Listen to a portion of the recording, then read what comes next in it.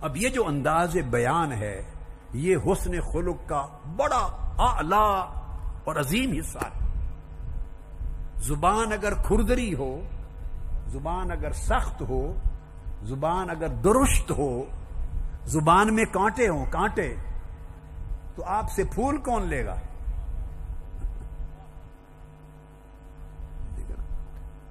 تو اگر زبان سخت ہے تو آپ کا بیان تاثیر نہیں کر سکتا۔ اب اللہ رب العزت نے کیا کیا؟ اپنا پیغام دینے کے لیے اپنے محبوب کو اور انسان اس نے خلق میں سے خوبیاں یہ دی کہ اس نے بیان بھی خود سکھایا۔ اور فرمایا، الرحمن، علم القرآن، خلق الانسان علمہ البیان۔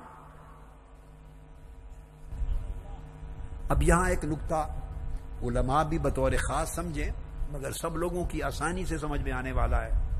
میں تو کوئی بات مشکل کرتا ہی نہیں ہوں۔ یہ اللہ مدد کرتا ہے، ہماری کوئی مشکل ہو بھی تو اللہ اسے مشکل رہنے نہیں دیتا۔ اب سورہ الرحمن اس صورت کی ابتدا اس آیت سے ہو رہی ہے کہ اللہ نے انسان کو پیدا کیا اور بیان سکھایا۔ یعنی سکھایا کہ بولنا کیسے ہے۔ اظہار معاف ضمیر کیسے کرنا ہے؟ یہ قائدین کے لیے اور کارکنان کے لیے یہ پہلا میسج ہے سورہ الرحمان کی آیت سے۔ والدین کے لیے اور اساتذہ کے لیے پہلا میسج ہے۔ معلمات کے لیے، لیڈرز کے لیے، تربیت کرنے والوں کے لیے، پڑھانے والوں کے لیے، آئمہ کے لیے خطبہ کے لیے میسج ہے۔ یہ اللہ پاک نے یہ کام سکھایا ہے۔ خلق الانسان علمہ البیان۔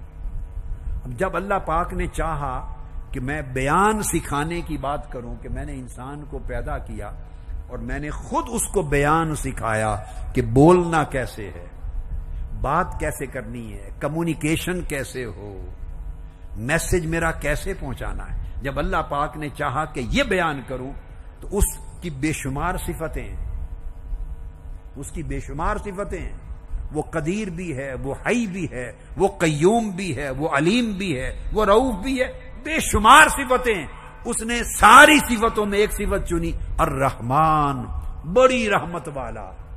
بیان کا ذکر کرنے سے پہلے اپنی صفت رحمان کا ذکر کیا، تاکہ پتا چلے کہ اے بیان کرنے والے، بیان تیرا میرا سکھایا ہوا تب ہوگا جب سارے بیان میں رحمت کی جھلک آئے۔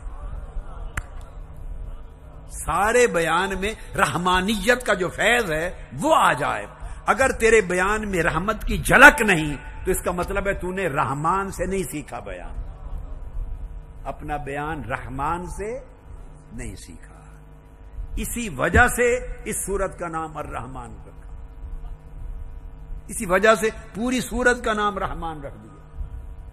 الرحمان علم القرآن۔ الرحمان کہہ کر ایک چشمہ ہے رحمان کا۔ اس میں سے پہلا چشمہ پھوٹا علم القرآن، قرآن کے علم کا۔ تو قرآن کے علم میں بھی رحمان کی رحمانیت۔ چھائی ہوئی ہو تو وہ علم قرآن ہے۔ تو قرآن کا علم دیا جا رہا ہو اور طریقہ درست ہو، طریقہ روکھا ہو، رحمت سے خالی ہو، تو وہ رحمان سے لیا ہوا نہیں ہے طریقہ۔ اور رحمان علم القرآن۔ رحمان نے قرآن کا علم دیا، سکھایا ہے۔ تو جب آپ قرآن آگے سکھائیں، تو وہی انداز اپنائیں جو رحمان نے دیا ہے۔ پھر فرمایا، خلق الانسان علمہ البیان۔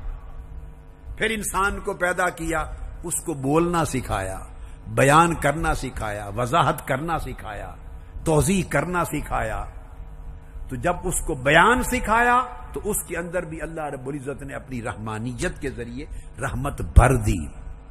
تو ادھر فرمایا، میرے محبوب، اگر آپ کی گفتگو سراپا رحمت نہ ہوتی، تو عاشق جڑ جاتے، بھاگ جاتے۔ ادھر فرمایا، میں نے جو بیان سکھایا ہے، وہ بھی سراپا رحمت ہے۔ اللہ رب العزت۔